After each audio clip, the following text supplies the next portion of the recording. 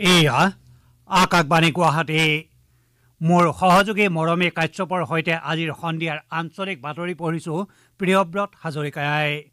আজিৰ প্ৰধান বাতৰিৰ ভিতৰত আছে বাগজানৰ পৰিস্থিতি সন্দৰ্ভত মুখ্যমন্ত্ৰী সৰ্বানন্দ সোণোৱালৰ প্ৰধানমন্ত্ৰী নৰেন্দ্ৰ মোদীৰ সৈতে আলোচনা ক্ষয় ক্ষতি পূৰণৰ ক্ষেত্ৰত সকলো ধৰণৰ সহযোগিতা আগবঢ়োৱা হ'ব বুলি প্ৰধানমন্ত্ৰীৰ আশ্বাস বাগজানৰ পৰিস্থিতি নিয়ন্ত্ৰণলৈ অনাৰ বাবে আৰু কমেও চাৰি সপ্তাহৰ প্ৰয়োজন হ'ব বুলি অইলৰ মুখপাত্ৰৰ প্ৰকাশ। ঘটনাস্থলীৰ পৰা অইলৰ দুগৰাকী কৰ্মচাৰীৰ মৃতদেহ উদ্ধাৰ। অসমত আজি পুনৰ বিৰাল্লিছজন লোক কভিড নাইণ্টিনত আক্ৰান্ত হোৱাৰ ফলত মুঠ আক্ৰান্তৰ সংখ্যা তিনি হাজাৰ বিৰান্নব্বৈলৈ বৃদ্ধি। মুখ্যমন্ত্ৰী সৰ্বানন্দ সোণোৱালৰ কলিয়াবৰ আৰু বালিপাৰাত মীন বিভাগৰ আঁচনি আনুষ্ঠানিকভাৱে উদ্বোধন আৰু ভাৰতত কভিড নাইণ্টিন আক্ৰান্ত হোৱাৰ পাছত সুস্থ হোৱা লোকৰ হাৰ আঠচল্লিছ দশমিক আঠ আঠ শতাংশলৈ বৃদ্ধি। এতিয়া শুনক বিতং বাতৰি। বাগজাত অঞ্চলত বসবাস কৰা প্ৰতিটো পৰিয়ালৰে নিৰাপত্তা নিশ্চিত কৰা আৰু ক্ষতিগ্ৰস্তসকলক উচিত ক্ষতিপূৰণ দিয়াৰ বাবে কেন্দ্ৰীয় আৰু ৰাজ্য চৰকাৰে যুটীয়াভাৱে পদক্ষেপ গ্ৰহণ কৰিব। মুখ্যমন্ত্ৰী সৰ্বানন্দ সোণোৱালে এটা বিবৃতিযোগে এই বিষয়ে প্ৰকাশ কৰিছে।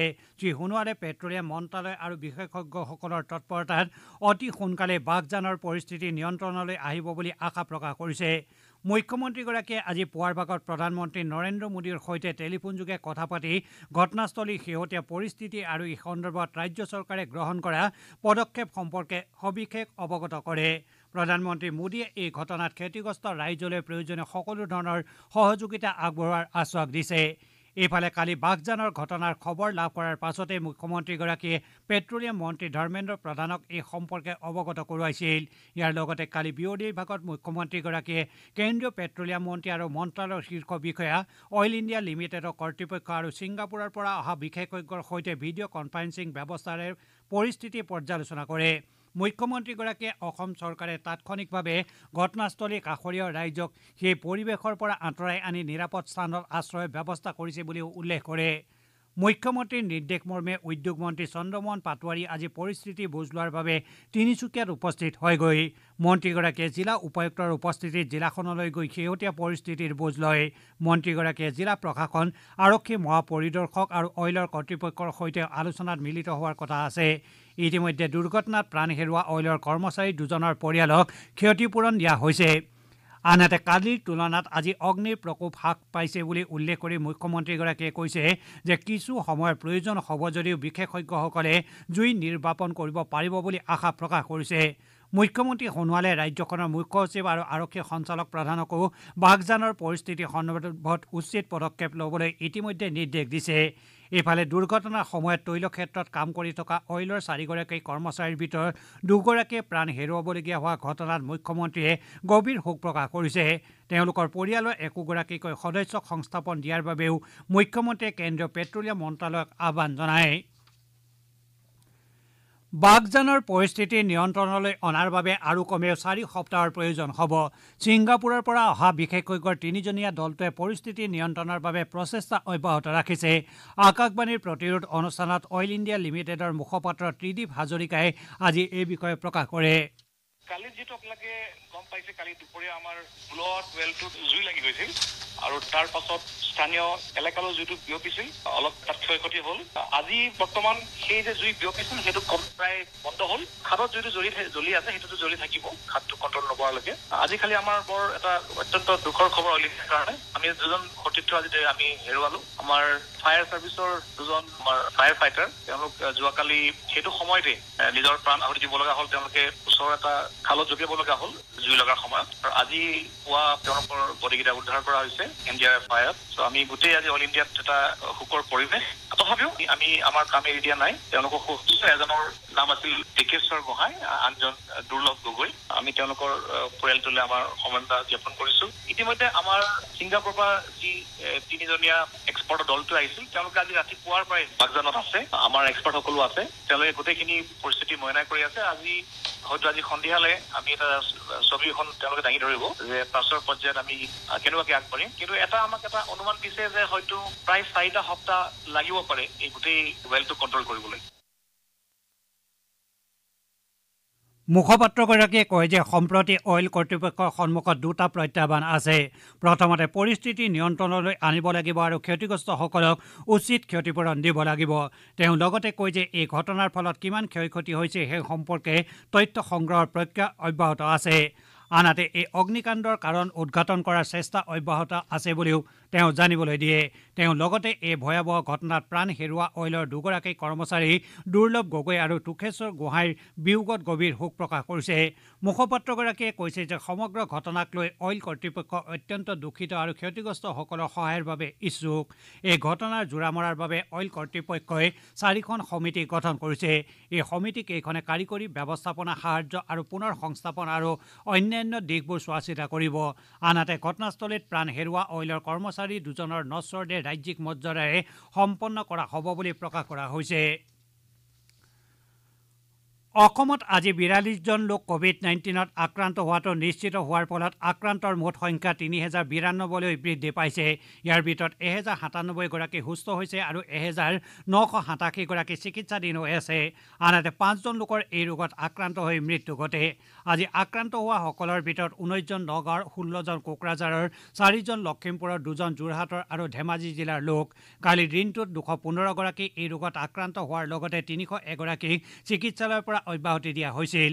ইফালে ৰাজ্যখনৰ দ্বিতীয় পৰ্যায়ৰ সাময়িক নিৰীক্ষণ কাৰ্যসূচী অব্যাহত আছে। এই সময়ছোৱাত ৰাজ্যৰ বিভিন্ন ঠাইত সম্ভাৱ্য ডেংগু মেলেৰিয়া জাপানীজ এনকেফেলাইটিছ ডায়েৰিয়াকে ধৰি বিভিন্ন ৰোগৰ প্ৰাদুৰ্ভাৱৰ প্ৰতি লক্ষ্য ৰাখি স্বাস্থ্য কৰ্মীসকলে ঘৰে ঘৰে গৈ নিৰীক্ষণ অব্যাহত ৰাখিছে। প্ৰথম পৰ্যায়তো ৰাজ্যখনৰ প্ৰায় ঊনত্ৰিছ হাজাৰ গাঁৱত এই নিৰীক্ষণ কৰা হৈছিল। অৱশ্যে এজন ব্যক্তিৰ দেহতো এই নিৰীক্ষণ কালত কভিড নাইণ্টিনৰ লক্ষণ দেখা পোৱা হোৱা নাছিল। ইফালে জলসম্পদ মন্ত্ৰী কেশৱ মহন্তই আজি নগাঁও জিলাৰ কলিয়াবৰ মহকুমাৰ চালনাৰ শ্ৰীমনা বস্তি আদৰ্শ চিকিৎসালয়খনৰ পঞ্চাছখন বিচনাযুক্ত কভিড নাইণ্টিন চিকিৎসালয়লৈ পৰিৱৰ্তিত কৰাৰ বাবে চলাই থকা প্ৰস্তুতিৰ বুজ লয়। মুখ্যমন্ত্ৰী সৰ্বানন্দ সোণোৱালে আজি নগাঁৱৰ কলিয়াবৰত অসম চৰকাৰৰ মীন বিভাগৰ অৰ্থ সাহায্যৰে দুগৰাকী উদ্যমী যুৱকে আৰম্ভ কৰা মীন পালন প্ৰকল্প এটা আনুষ্ঠানিকভাৱে শুভাৰম্ভ কৰে। ৰিচাৰ্কুলেটৰী একুৱা কালচাৰ ছিষ্টেম চমুকৈ ৰাজ আঁচনিৰ অধীনত বিছ লাখ টকাৰ আৰ্থিক সাহায্যৰে সম্পূৰ্ণ বৈজ্ঞানিক পদ্ধতিৰে আৰম্ভ কৰা এই প্ৰকল্পটোত একে সময়তে চল্লিছ কুইণ্টেল থলুৱা মাছ উৎপাদন কৰা হ'ব। ভাষণ প্ৰসংগত মুখ্যমন্ত্ৰী সোণোৱালে এই আঁচনিখন অসম চৰকাৰৰ মীন বিভাগে পুনৰাৱৰ্তন জলীয় কৃষি পদ্ধতিৰে মৎস্য পালন কৰি নীল বিপ্লৱৰ সূচনা কৰাৰ লগতে উত্তৰ পূৰ্বাঞ্চলত থলুৱা মাছৰ চাহিদা বৃদ্ধি কৰিব বুলি আশা প্ৰকাশ কৰে। অনুষ্ঠানত মীন মন্ত্ৰী পৰিমল শুক্লবৈদ্য স্থানীয় বিধায়ক তথা জলসম্পদ মন্ত্ৰী কেশৱ মহন্তৰ লগতে জিলা উপায়ুক্ত মহকুমাধিপতি আৰু বিভাগীয় বিষয়াসকল উপস্থিত থাকে। মুখ্যমন্ত্ৰীগৰাকীয়ে আজি বালিপাৰাত আন এটা মীন প্ৰকল্প আনুষ্ঠানিকভাৱে শুভাৰম্ভ কৰে। ভাৰতবৰ্ষত কভিড নাইণ্টিন আক্ৰান্ত হোৱাৰ পাছত সুস্থ হৈ উঠা লোকৰ হাৰ আঠচল্লিছ দশমিক আঠ আঠ শতাংশলৈ বৃদ্ধি পাইছে। এতিয়ালৈকে দেশত এক লাখ পঁয়ত্ৰিছ হাজাৰ দুশ ছজন লোক কভিড পজিটিভ হোৱাৰ পাছত সুস্থ হৈ উঠিছে যোৱা চৌব্বিছ ঘণ্টাত পাঁচ হাজাৰ নশ একানব্বৈজন লোক এই ভাইৰাছৰ সংক্ৰমণৰ পৰা মুক্ত হৈছে। আনহাতে এক লাখ তেত্ৰিছ হাজাৰ ছশ বত্ৰিছগৰাকী চিকিৎসাধীন হৈ আছে যোৱা চৌব্বিছ ঘণ্টাত ন হাজাৰ নশ পঁচাশীজন লোক এই ভাইৰাছৰ দ্বাৰা নতুনকৈ সংক্ৰমিত হয়। ইয়াকে লৈ দেশত মুঠ আক্ৰান্তৰ সংখ্যা দুই লাখ ছয়সত্তৰ হাজাৰ পাঁচশ তিৰাশী হৈছেগৈ। আনহাতে সাত হাজাৰ সাতশ পঞ্চল্লিছজনৰ এই ৰোগৰ ফলত মৃত্যু ঘটে। যোৱা চৌব্বিছ ঘণ্টাত এক লাখ পঞ্চল্লিছ হাজাৰ দুশ ষোল্লটা নমুনা পৰীক্ষা কৰা হয়। ইয়াৰ লগে লগে কভিড নাইণ্টিন চিনাক্ত কৰাৰ বাবে দেশত মুঠ পৰীক্ষাৰ সংখ্যা পঞ্চাছ লাখ এষষ্ঠি হাজাৰৰ অধিক হৈছেগৈ। ইফালে কালি নতুন দিল্লীত অনুষ্ঠিত মন্ত্ৰীসকলৰ বৈঠকত দেশৰ বিভিন্ন ৰাজ্যৰ কভিড নাইণ্টিন সম্পৰ্কীয় পৰিস্থিতি পৰ্যালোচনা কৰা হৈছে। বৈঠকত অংক লৈ স্বাস্থ্যমন্ত্ৰী ডাঃ হৰ্ষবৰ্ধনে কৈছে যে বিশ্বৰ অন্যান্য ৰাষ্ট্ৰৰ তুলনাত কভিড নাইণ্টিন সন্দৰ্ভত জনবহুল দেশ ভাৰতৰ পৰিস্থিতি কিছু সন্তোষজনক। এই বৈঠকতে মন্ত্ৰীগৰাকীয়ে কয় যে ভাৰতত সম্প্ৰতি নশ আঠাৱন্নখন কভিড চিকিৎসালয় আৰু এক লাখ সাতষষ্ঠি হাজাৰ আছুতীয়া বিচনা আছে। তদুপৰি দুহেজাৰ তিনিশ তেৰটা কভিড স্বাস্থ্যকেন্দ্ৰ আৰু সাত হাজাৰ পাঁচশ পঁচিছটা কভিড সেৱা কেন্দ্ৰই অহৰহ সেৱা আগবঢ়াই আছে। আনহাতে মহাৰাষ্ট্ৰ তামিলনাডু আৰু অসমকে ধৰি দেশৰ অধিক কভিড সংক্ৰমিত পোন্ধৰখন ৰাজ্য আৰু কেন্দ্ৰীয় শাসিত অঞ্চলৰ পৰিস্থিতি চোৱা চিতাৰ বাবে উচ্চ পৰ্যায়ৰ অনুশাসনমূলক সমিতি গঠন কৰা হৈছে। আপোনালোকে বাতৰি শুনিছে আকাশবাণী গুৱাহাটী কেন্দ্ৰৰ পৰা। মুখ্যমন্ত্ৰী সৰ্বানন্দ সোণোৱালে কৈছে যে গান্ধীজীৰ স্বচ্ছ ভাৰতৰ সপোন বাস্তৱায়িত কৰিবলৈ ৰাজ্যৰ প্ৰতিখন চহৰ পৰিচ্ছন্নকৈ গঢ়ি তুলিব লাগিব। গুৱাহাটীৰ শ্ৰীমন্ত শংকৰদেৱ কলাক্ষেত্ৰত নগৰ উন্নয়ন বিভাগৰ অধীনত ৰাজ্যৰ পৌৰসভাসমূহলৈ স্কিট ষ্টিয়াৰ লোডাৰ আৰু টিপাৰ বিতৰণ উপলক্ষে আয়োজিত এখন সভাত ভাষণ দি মুখ্যমন্ত্ৰীয়ে এইদৰে মন্তব্য কৰে। এই অনুষ্ঠানত মুখ্যমন্ত্ৰীগৰাকীয়ে ৰাজ্যৰ ছয়সত্তৰখন পৌৰসভালৈ এশ চৈধ্যখন স্কিট ষ্টিয়াৰ লোডাৰ আৰু এশ ষোল্লখন টিপাৰ বিতৰণৰ কাৰ্যসূচী আনুষ্ঠানিকভাৱে শুভাৰম্ভ কৰে। অনুষ্ঠানত দিয়া ভাষণত মুখ্যমন্ত্ৰীগৰাকীয়ে কয় যে নগৰ উন্নয়ন বিভাগে প্ৰতিখন চহৰৰ আৱৰ্জনা পৰিষ্কাৰৰ বাবে আধুনিক আৰু বিজ্ঞানসন্মত যন্ত্ৰপাতি বিতৰণৰ ব্যৱস্থা কৰিছে।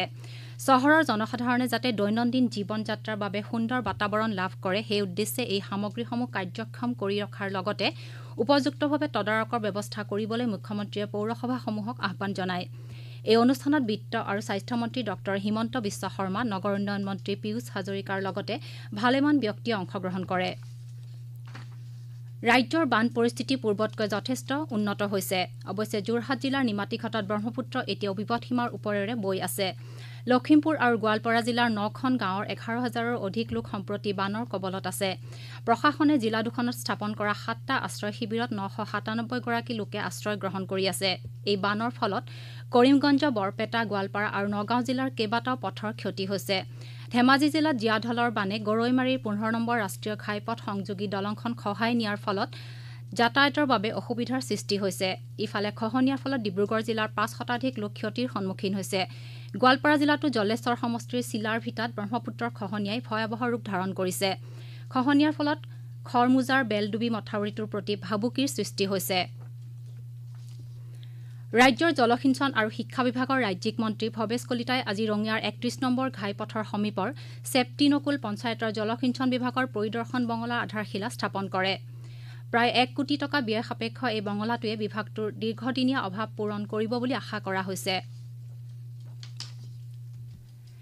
মেঘালয়ত আজি কভিড নাইণ্টিন ৰোগীৰ এজনৰ সংস্পৰ্শলৈ অহা এজন ব্যক্তিৰ দেহত কৰোণা ভাইৰাছৰ উপস্থিতি ধৰা পৰিছে। ইয়াকে লৈ ৰাজ্যখনত সক্ৰিয় হৈ থকা মুঠ কভিড নাইণ্টিন পজিটিভ ৰোগীৰ সংখ্যা ত্ৰিছ হ'লগৈ। এটা টুইট বাৰ্তাযোগে মুখ্যমন্ত্ৰী কনৰাড কে চাংমাই জনাইছে যে ব্যক্তিজনক শ্বিলঙত বিশেষ চিকিৎসা ব্যৱস্থাৰ অধীনত নিৰীক্ষণ কৰি থকা হৈছে। মেঘালয়ত বৰ্তমানলৈ চৌৰাল্লিছজন লোক কভিড নাইণ্টিনত আক্ৰান্ত হৈছে আৰু ইয়াৰে তেৰজনে আৰোগ্য লাভ কৰিছে আৰু এজনৰ মৃত্যু হৈছে। মণিপুৰত আজি পুনৰ পাঁচজন কভিড নাইণ্টিন পজিটিভ ৰোগীৰ চিনাক্ত কৰা হৈছে। ইয়াকে লৈ ৰাজ্যখনত চিকিৎসাধীন হৈ থকা কভিড নাইণ্টিন ৰোগীৰ সংখ্যা দুশ পঞ্চল্লিছজনলৈ বৃদ্ধি পালে। মণিপুৰত বৰ্তমানলৈ তিনিশ নজন লোক কৰোণা ভাইৰাছত আক্ৰান্ত হৈছে আৰু ইয়াৰে চৌষষ্ঠিজনে আৰোগ্য লাভ কৰিছে। নাগালেণ্ডতো আজি নতুনকৈ এজন লোক কৰোণা ভাইৰাছত আক্ৰান্ত হৈছে। ৰাজ্যখনত বৰ্তমানলৈ এশ আঠাইছজন লোক কৰোণা ভাইৰাছত আক্ৰান্ত হৈছে আৰু ইয়াৰে এশ ছজন লোক চিকিৎসাধীন হৈ আছে আৰু বাইছজন ৰোগী সুস্থ হৈ উঠিছে। ইফালে মিজোৰামত আজি পাঁচজন কৰোণা ভাইৰাছত আক্ৰান্ত লোকক চিনাক্ত কৰা হয়। ইয়াকে লৈ ৰাজ্যখনত এই ভাইৰাছৰ দ্বাৰা আক্ৰান্ত লোকৰ সংখ্যা তিৰানব্বৈজনলৈ বৃদ্ধি পালে। ইয়াৰে বিৰানব্বৈজন লোক বৰ্তমানেও চিকিৎসাধীন হৈ আছে আৰু এজন লোকে আৰোগ্য লাভ কৰিছে। ভাৰতীয় ৰেলৱে ৰাজ্যৰ প্ৰয়োজন অনুসৰি বিশেষ শ্ৰমিক ৰেলযোগে সুৰক্ষিত শ্ৰমিক প্ৰৱজনৰ বাবে প্ৰতিশ্ৰুতিবদ্ধ। বৰ্তমানলৈ ভাৰতীয় ৰেল বিভাগে চাৰি হেজাৰ তিনিশ সাতচল্লিছতকৈও অধিক বিশেষ শ্ৰমিক ৰেল সেৱা আগবঢ়াই প্ৰায় ষাঠি লাখ লোকক নিজ নিজ গন্তব্যস্থানলৈ লৈ গৈছে। উল্লেখযোগ্য যে শ্ৰমিক ৰেলসমূহৰ চলাচল যোৱা এক মেৰ পৰা আৰম্ভ কৰা হৈছে। বাতৰি শেষ কৰাৰ আগতে প্ৰধান বাতৰি কেইটামান থোৰতে আকৌ পঢ়ি দিছোঁ। বাগজানৰ পৰিস্থিতি সন্দৰ্ভত মুখ্যমন্ত্ৰী সৰ্বানন্দ সোণোৱালৰ প্ৰধানমন্ত্ৰী নৰেন্দ্ৰ মোদীৰ সৈতে আলোচনা। ক্ষয় ক্ষতি পূৰণৰ ক্ষেত্ৰত সকলো ধৰণৰ সহযোগিতা আগবঢ়োৱা হ'ব বুলি প্ৰধানমন্ত্ৰীৰ আশ্বাস। বাগজানৰ পৰিস্থিতি নিয়ন্ত্ৰণলৈ অনাৰ বাবে আৰু কমে চাৰি সপ্তাহৰ প্ৰয়োজন হ'ব বুলি অইলৰ মুখপাত্ৰৰ প্ৰকাশ। ঘটনাস্থলীৰ পৰা অইলৰ দুগৰাকী কৰ্মচাৰীৰ মৃতদেহ উদ্ধাৰ। অসমত আজি পুনৰ বিৰাল্লিছজন লোক কভিড নাইণ্টিনত আক্ৰান্ত হোৱাৰ ফলত মুঠ আক্ৰান্তৰ সংখ্যা তিনি হেজাৰ বিৰান্নব্বৈলৈ বৃদ্ধি। মুখ্যমন্ত্ৰী সৰ্বানন্দ সোণোৱালৰ কলিয়াবৰ আৰু বালিপাৰাত মীন বিভাগৰ আঁচনি আনুষ্ঠানিকভাৱে উদ্বোধন আৰু ভাৰতত কভিড নাইণ্টিন আক্ৰান্ত হোৱাৰ পাছত সুস্থ হোৱা লোকৰ হাৰ আঠচল্লিছ দশমিক আঠ আঠ শতাংশলৈ বৃদ্ধি। আমাৰ আজিৰ সন্ধিয়াৰ আঞ্চলিক বাতৰি ইমানতে শেষ হ'ল।